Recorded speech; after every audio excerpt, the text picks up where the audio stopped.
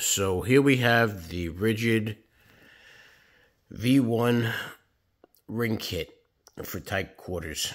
It's a half inch to an inch and a quarter. I bought this from Supply House. Got it overnight. I own a Milwaukee M18 Force Logic Pro Press. I got the M18 because I want to do Mega Press with it, and I also need the, the bigger jaws. So I'm going to see if this works. Everything I read online, including uh, Supply House's uh, comment responses, say that it is going to work. So let's try this out. I have it all loaded up. I'm going to hit the button. It's all tight. Try to do this all in one hand. Let's see what happens.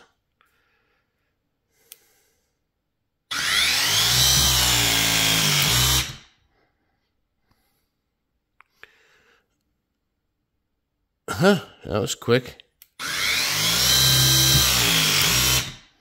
That was real quick. I pressed it twice.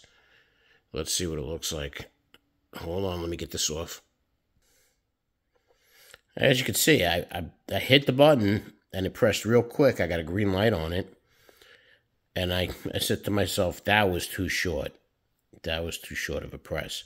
Did it again, got the same results. Now I'm checking the fitting, and sure enough, it's pressed. It is pressed. Um, I, I don't think I'll have a problem with it. Yes, they are compatible. I'm going to test it in the field, but for now, looking at this press, perfect. Perfect. Thanks for watching. I hope this answers your question.